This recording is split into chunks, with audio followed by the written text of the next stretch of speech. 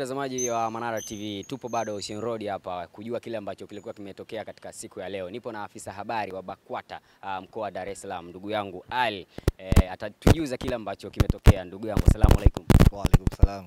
Heri kabisa. Alhamdulillah. Uh, kwanza nikupe hongera kwa kufika siku ya leo. Hongera kwa sote Mm. eh, kwa sababu hili jambo ni la kwetu sote, kwa sababu mtume wa kwetu sote. yeah. Kwa hiyo na wewe hongera vile vile. Shukrani sana. Uh, nataka kujua wewe ni afisa habari lakini pia ni miongoni mwa watu ambao umefika katika uh, eneo hili hapa. Umeipokeaje tukio?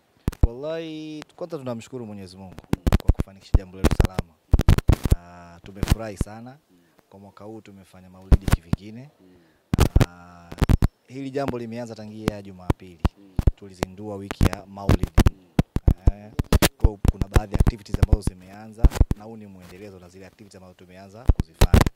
Uh, mwaka huu uh, kaimu shekhe wa mkoa wa Dar es Salaam Shekhe Walid Alhadi Kawambwa kuja kivingine kwamba tumezoea sisi maulidi yetu wa always tunafanya tu maulidi usiku, watu wanasoma maulid pale alafu wanakula, lakini mwaka huu kwa sababu mtume wa kwetu sote na mtume kafanya mambo mengi ya kijamii, kwa hiyo tumekuja na slogan yetu mtume na jamii.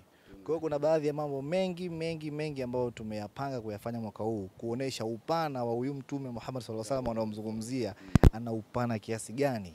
Kwa hiyo ndio maana tumeanza, tulianza na mihadhara na bado inaendelea na leo tuna mhadhara mwingine unaendelea pale Masjid Dar es Salaam Kigamboni, feri kabisa pale. Ukitoka kwenye kivuko kwenda Kigamboni, msikiti unaokufesi tu pale, kuna mhadhara pale eh, unasema ah, mtume na, na habari ni jambo letu kabisa. Kwa hiyo pale atakupo Sheikh Othman, uh, Othman Khamis ataelezea kwa upana jinsi gani mtume alitawala. Kwa hiyo mambo yote haya unaona mambo yetu sisi Waislamu, tusiwe nyuma, tuyafanye kwa upana zaidi. Kwa hiyo baada ya hii mihadhara pia kuna activities ambazo tumezianza hizo za usafi. Tumefanya usafi leo kwenye soko kuu la samaki Feri. Baada ya hapo tukaenda Muhimbili, tukaona wagonjwa, tumegawa baadhi ya vitu Sheikh ametembelea wagonjwa, amewasikiliza wengine, amewasaidia kwa kadri ya uwezo wake anapofikia, alipomjalia Mwenyezi Mungu Subhanahu wa Ta'ala. Tumetoka hapo tumekuja hapa Ocean Road hospitali, tumeona wagonjwa, tumetoa baadhi ya vitu ambavyo tumejaliwa kuvipata, tumevigawa. Kwa hiyo tumefanya mambo hayo, lakini bado still kuna mengine zaidi yanaendelea, kwa sababu baada ya hii mihadhara tarehe ishirini na saba siku yenyewe ya kilele tutakuwa na zoezi la kuchangia damu pale kuanzia asubuhi saa kumi na mbili mpaka saa tisa jioni tutachangia pale. Kwa tunaomba Waislamu wote ambao wana mapenzi ya dhati na Mtume Muhammad sallallahu alaihi wasallam waje pale kuchangia damu eh, kwa niaba ya Waislamu wanaohitaji na wanaosukua Waislamu. Kwa tunawakaribisheni wote mje pale kwa wingi, na hata Manara TV tungefurahi mje pale, naona mje mtusapoti. Jambo sio la kwetu, jambo la umma mzima, la kijamii, jambo la Mtume Muhammad sallallahu alaihi wasallam. Kwa hiyo tunaombeni mje, tutachangia damu pale. Baada ya kuchangia damu pale, tutakuwa na zafa tunaenda dhafa usiku ndo tunafanya kile cha maulid.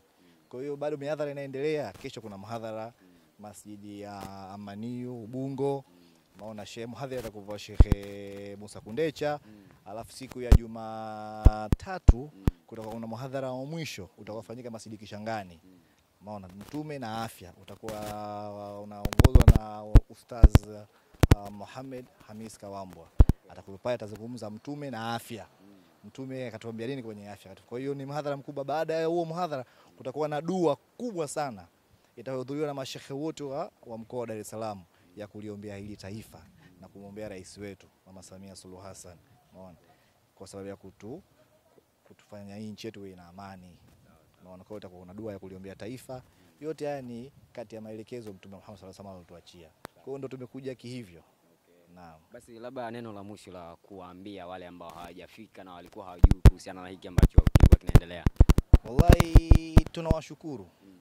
sisi tumewawakilisha mm. eh, kwa uchache wetu, japokuwa ni wengi tumewawakilisha mm. Alhamdulillah, jambo limefanya. Kwa hiyo nawashauri tu Waislamu tujitoe kwenye mambo yetu, haya mambo ni ya kwetu eh, tusiwe watu wa kujiweka sana nyuma, tumsapoti kaimu shekhe wetu wa mkoa wa Dar es Salaam eh, ana lengo kubwa sana pana sana eh, kwa maslahi ya Waislamu na Watanzania wote kwa ujumla eh. Basi shukran sana ndugu yangu, kila la kheri katika siku yako ya leo.